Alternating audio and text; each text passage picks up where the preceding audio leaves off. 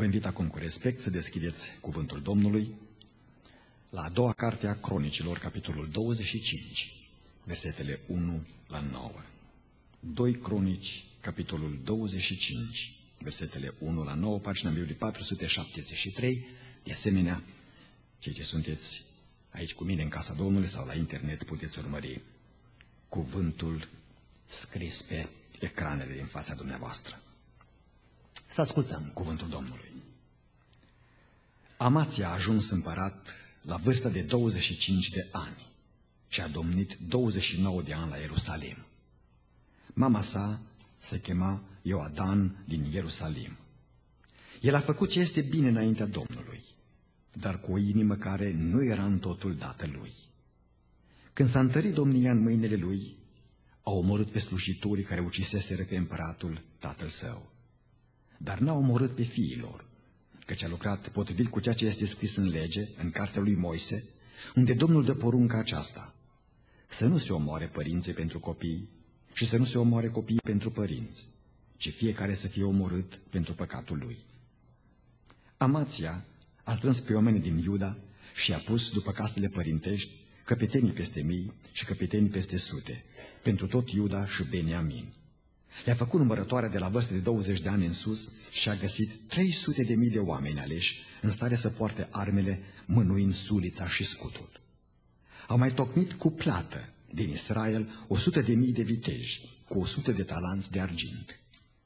Un om al lui Dumnezeu a venit la el și a zis, Împărate, să nu meargă cu tine oastea lui Israel, căci Domnul nu este cu Israel, nu este cu toți acești fii ai lui Efraim. Dacă mergi cu ei, chiar dacă ai face la luptă fapte de vitejie, să știi că Dumnezeu te va face să cazi înaintea vrăjmașului. Căci Dumnezeu are putere să te ajute și să te facă să cazi. Amați a zis omului lui Dumnezeu, dar ce să fac cu cei 100 de talanți pe care i-am dat oastei lui Israel? Omul lui Dumnezeu a răspuns, Domnul poate să-ți dea mult mai mult decât atât. Amin.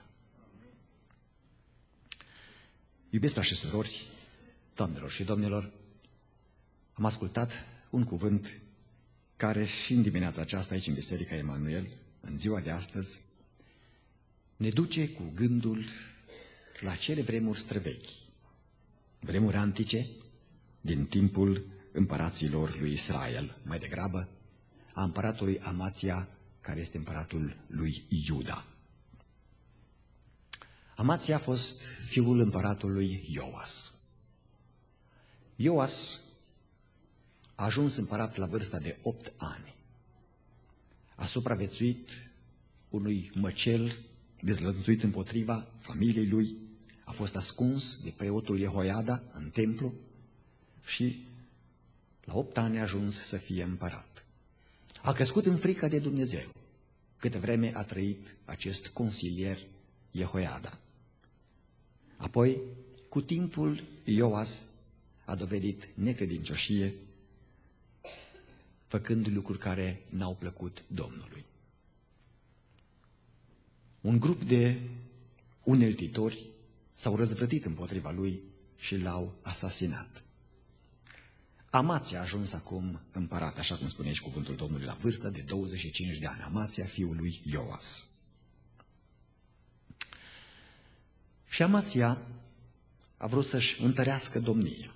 După obiceiul oriental al timpului, a înlăturat pe cei care erau împotriva tronului, a lucrat însă după cuvântul lui Dumnezeu, răzbunându-se doar pe aceia care au făcut rău tatălui său. Pasajul acesta vorbește despre validitatea pedepsei cu moartea. Apoi, cuvântul Domnului spune că Ioas, Amația, s-a pregătit de război. Războiul pe care trebuia să-l ducă era împotriva Edomului sau Seirului, cum se mai numește în Scriptură. Era dușmanul perpetu, continuu al lui Israel și Iuda. Și în vederea aceasta a pregătirii pentru război și-a numărat oștirea. 300 de mii de soldați, de la vârstă de 20 de ani în sus. I s-a părut însă că sunt puțini 300 de mii. Și de aceea, în pasajul pe care l-am citit și istoria confirmă lucrul acesta, cronicile laice în Israel, el a întocmit încă 100 de mii de mercenari din Israel, mai degrabă, mai degrabă din Efraim, pentru care a plătit 100 de talanți de argint, adică aproximativ 5400 de kilograme de argint. O sumă mare, o avere mare. Și în momentul în care se pregătea să meargă la război, Dumnezeu a trimis un profet la Amația și a spus, nu te duce la război decât numai cu oștirea ta. Trimite acasă mercenare din Israel, pentru că israeliții s-au dedat întru totul la idolatrie. Și de aceea Dumnezeu nu poate să primească asocierea ta cu o armată idolatră. Și Dumnezeu nu-ți va da izbândă chiar dacă tu vei face fapte nemaipomenite de vitejie. Trimite acasă pe Israel, la care Amația a reacționat așa cum reacționează oricine care face o investiție. Dar ce fac cu investiția? Am plătit 100 de talanți de argint. Și pentru cei ce nu cunosc sau au uitat lucrul acesta, talentul era o măsurătoare în vremea aceea uh, din două perspective. Talentul popular cântărea 24 de kilograme și jumătate. Iar talentul regal, și el este rege, cântărea 54 de kilograme. De ce am spus 5400 de kilograme de argint. Deci el a investit mult, o sumă mare. Și el a pus această întrebare. Dar ce să fac cu investiția care am făcut-o? La care omul lui Dumnezeu i-a răspuns. Deci profetul i-a răspuns împăratului din partea lui Dumnezeu, nu-ți face probleme, pentru că Domnul poate să-ți dea mult mai mult decât atât. Asta cunoașteți foarte bine, ca și mine, că tot ce este scris în vechime este scris pentru noi, pentru învățătura noastră. S-a întâmplat Aitoma, exact așa cum este scris, literar, însă Sfântul Apostol Pavel ne spune și la fel Mântuitorul Iisus Hristos, Apostolul Ioan, că lucrurile din vechime sunt scrise pentru noi. Pentru ca noi să învățăm din ceea ce s-a întâmplat, să nu cădem în aceeași greșeală în care au căzut, au căzut cei din vechime și să slujim pe Dumnezeu cu o inimă dată întru totul Domnului. De aceea, în dimineața aceasta voi veni în fața dumneavoastră cu un mesaj pe care l-am intitulat Modernul văzut în trecut. Modernul văzut în trecut. Societatea contemporană se aseamănă identic cu societatea antică a lui Amația. Oamenii vor să prospere, oamenii fac investiții și oamenii vor să culeagă din investiție, vreau, doresc să se bucure de prosperitate. Nimeni nu vrea să piardă. Eu nu vreau să pierd, cred că dumneavoastră nu vreți să pierdeți. Toată lumea vrea să câștige. Spiritul acesta modern de astăzi a existat și în antici și de acolo învățăm exact ce se întâmplă și parcă vedem societatea noastră copiată în acelea timpuri. Dar Amația are o istorie ciudată, așa cum se vede că va fi și istoria noastră și este istoria multora dintre noi. Amația ne revelează câteva lucruri caracteristice societății noastre contemporane, poate ție, poate mie. Vor fi trei lucruri la care ne vom uita în această dimineață și, în primul rând, învață și iarăși învață. Învață și iarăși învață. Amația s-a pregătit pentru război război împotriva, Ed, ă, împotriva Edomului, a Seirului. Cum spuneam, era vrăjmașul continuu, perpetu al lui Israel, al lui Iuda.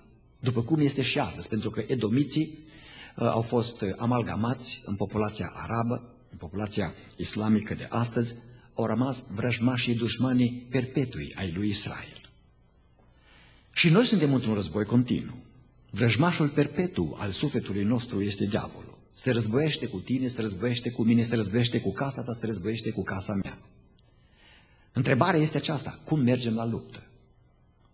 Avem de unde învăța cum să ne ducem la luptă. Cum să ne păstrăm integritatea ca oameni al lui Dumnezeu. Cum să păstrezi integritatea familiei tale. Cum să nu te compromiți în business. Și cum să rămâi un om pe care să poată să conteze Dumnezeu. Cum să rămâi curat în trăirea ta, în orice afacere pe care o faci, în slujirea ta, în hotărârile tale, în cuvântul pe care îl spui. Uitați-vă la două lucruri care se văd în viața lui Amația și sunt uh, practice cuvintele acestea, adevărurile acestea și ele trebuie să se vadă și în viața noastră. Primul, consideră pe oamenii lui Dumnezeu. Dacă vrei să ai o bătălie curată, un război curat, împotriva celui rău, că noi nu ne luptăm unii împotriva altora, cum cred mulți, că cei necredincioși se luptă cu cei credincioși, pocăiți contra nepocăiți. Nu. Războiul nostru este împotriva celui rău. El este dăjmanul sufletului nostru.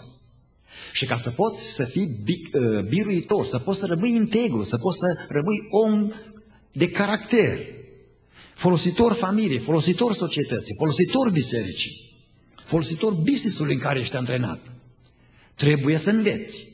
Primul lucru, consideră pe oamenii lui Dumnezeu. În versetele 7 la 9 din capitolul 25, uitați, un om al lui Dumnezeu a venit la el și a zis, Împărate, să nu meargă cu tine oastea lui Israel, căci Domnul nu este cu Israel, nu este cu toți acești fii ai lui Efraim, datorită uh, uh, imoralității în care căzuseră uh, regatul de nord. Dacă mergi cu ei, chiar dacă ai face la luptă fapte de vitejie, să știi că Dumnezeu te va face să cazi înaintea vrăjmașului. Căci Dumnezeu are putere să te ajute și să te facă să cazi. Amați a zis omului lui Dumnezeu. Dar ce să fac cu cei o sută de talanți pe care i-am dat oastei lui Israel? Omul lui Dumnezeu a răspuns, Domnul poate să-ți dea mult mai mult decât atât. Și Amația a fost cu minte.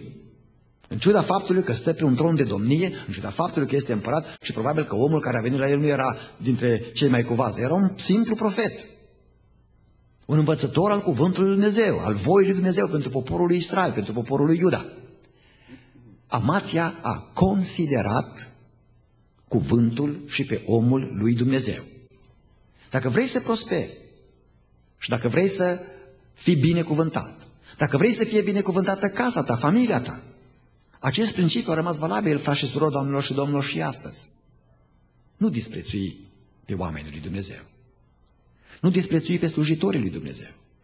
Nu disprețui sfatul pe care ei ți-l dau. Uită-te la viața lor. Uită-te la sfatul lor. Uită-te la istoria lor cu Domnul. Uită-te la casa și familia lor. Uită-te la influența lor pozitivă. Uită-te la caracterul lor. Uită-te la integritatea lor. Și învață de la ei. Foarte mulți întorc spatele sfatului păstorului, sfatului profetului, sfatului evanghelistului, sfatului unui om al lui Dumnezeu. Dacă vrei să prosperi și dacă vrei să fii binecuvântat, a rămas valabil până și astăzi. În cuvântul Domnului este scris, ascultați de mai mare voștri în Domnul. Dacă vrei să fii binecuvântat, trebuie să consideri pe omul lui Dumnezeu, indiferent cine ești tu, indiferent ce poziție ai. Amația a făcut acest lucru și în prima parte a vieții lui a fost binecuvântat. Considere, deci, pe oamenii lui Dumnezeu. Al doilea lucru, fi constant în ascultare și credincioșie față de Domnul Dumnezeu. Uitați-vă la 2 Cronici, capitolul 25, versetele 14 la 16. Amația n-a fost constant, dar tu trebuie să fii constant. Când s-a întors Amația de la înfrângerea edomiților, a adus pe Dumnezeii fiilor lui Seir și a pus Dumnezei peste el. S-a închinat înaintea lor și le-a adus tămâie. Atunci Domnul s-a aprins de mânie împotriva lui Amația și a trimis la el un proroc care a zis, deci din nou, alt om al lui Dumnezeu. De multe ori, oamenii Dumnezeu sunt un deranj pentru cei care au probleme cu integritatea. Sunt un deranj. Iară ne vede păstorul, iară ne vede profet, iară ne vede evanghelistul, nu? Iară ne spune ce trebuie să facem. Pentru ce ai căutat pe Dumnezeii poporului acestuia când ei n-au putut să-și izbăvească poporul din mâna ta? Pe când vorbea el, Amația i-a zis, oare te-am făcut sfernic al împăratului? Pleacă, pentru ce vrei să fii lovit? Prorocul a plecat zicând, știu acum că Dumnezeu a hotărât să te nimicească pentru că ai făcut lucrul acesta și ne-ai ascultat sfatul meu, sfatul Domnului. Secretul binecuvântării, secretul biruinței în luptă împotriva celui rău, secretul păstrării integrității și a unui caracter sfânt de om al lui Dumnezeu, secretul prosperității, a binecuvântării investiției pe care ai făcut-o, indiferent ce domeniu, este să rămâi constant ascultător și credincios lui Dumnezeu. Amația a început să se ia după obiceiurile timpului. Nu vedeți dumneavoastră că aceasta este și tendința societății contemporane? Corectitudine politică. Asta este filozofia la zi. Corectitudine politică. Toate drumurile duc la Roma. Nu toate duc la, drumurile duc la Roma. Toate duc în cimitir până la urmă, dar la Roma nu. Există această tendință să, să-i facem pe oameni să nu mai gândească. Ori să se simtă bine, să nu se supere cineva, tot spunem la fel și spunem neadevăruri. Amația s-a dus după spiritul vremii, idolatrie, după edomiți. Ca să fii binecuvântat și ca să îți meargă bine lucrurile, ca să te bucuri de sănătate, ca să te bucuri de o familie în pace, ca să te bucuri de uh, creștere în business, ca să te bucuri de copii ascultători, ca să te bucuri de soție credincioasă, de un soț credincios, de o familie cu pace, de un business prosper. Trebuie să rămâi credincios lui Dumnezeu. Nu trebuie să umbli după corectitudine politică, indiferent ce gândește Washington sau ce gândește Moscova sau ce gândește Ierusalimul sau ce gândește uh, cel mai mare din denominația din care tu faci parte. Întotdeauna Dumnezeu a onorat credincioșia față de El, față de cuvântul Său. Întotdeauna Dumnezeu a binecuvântat pe aceia care au stat în picioare în ciuda opoziției. Așa trebuie să fie, așa e normal să fie. Acest fad ne cere și Scriptura. Psalmul 103 cu versetul 1, aduceți-vă aminte ce spune cuvântul Lui Dumnezeu. Binecuvintează suflete pe Domnul și nu uita niciuna din binefacerile Lui. Amația a biruit nu pentru că el a fost iscusit, a biruit pentru că Dumnezeu a fost cu el. Și tu ai ajuns și eu am ajuns până în punctul acesta în care am ajuns datorită lui Dumnezeu. Datorită lui Dumnezeu. Nu trebuie să uităm lucrul acesta și de aceea trebuie să fim credincioși lui Dumnezeu. Principiul seceratului și semănatului ne obligă la constanță în ascultare uh, și fa- credință față de Dumnezeu. Ce seamănă omul, aceea va secera. Deci dacă vrei să te bucuri mai departe de binecuvântare, dacă vrei să te bucuri mai departe de pace în casă, ca lucrurile să-ți meargă bine, principiul acesta universal al semănatului și seceratului trebuie să fie cu tine. Ce seamănă omul, aceea va secera. Geneza 4 cu 7. nu e așa? Dacă faci bine, binele, bine vei fi primit. Obadia 1 cu 15, că ziua Domnului este aproape. Cum ai făcut, așa ți se va face. Pe Cronici 15 cu 2, același lucru ne cere. Natura dumnezească din noi ne obligă să fim oameni constanți. Sfântul Apostol Petru spune în 2 Petru 1 cu 4 că noi avem natură dumnezească, fire dumnezească în noi, în momentul în care ne-am mântuit și am cunoscut pe Dumnezeu. Ori natura aceasta dumnezească nu ne învață să fim rebeli împotriva lui Dumnezeu. Nu ne învață să fim neascultători de Dumnezeu. Nu ne învață să întoarcem spatele lui Dumnezeu. În orice circunstanță ne-am găsit. Chiar dacă ai făcut un jurământ în pagoba ta, cum se menționa dimineața la timpul de rugăciune. De aceea, pentru aceste vremuri moderne, ca și amația, învață și iarăși învață. Stai constant în cunoașterea lui Dumnezeu. Stai constant în credință. Stai constant în legătura ta cu Dumnezeu. Și când vorbesc, stai constant în credință. Nu vorbesc în denominația din care faci parte. Pentru că aceea nu te ajută deloc. Stai constant în credința care vine din cuvântul lui Dumnezeu. Pentru că așa spune această carte sfântă numită Biblia, credința vine în urma auzirii și ascultării de cuvânt. În al doilea rând, personalități duble, ieri și azi. De ce am spus că modernul văzut prin trecut? Pentru că situația lui Amația este o situație care este descriptibilă și descriptivă pentru uh, societatea contemporană la virgulă. Uitați-vă în versetul 2 din 2 Cronici 25, pasajul pe care l-am citit astăzi. El a făcut ce este bine înaintea Domnului, dar cu o inimă care nu era în totul dată lui. Amația are o dublă personalitate. Nu aceasta este boala societății noastre contemporane? Oamenii au o dublă personalitate. O față în biserică și alta în business. O față în familie și alta în altă parte. O atitudine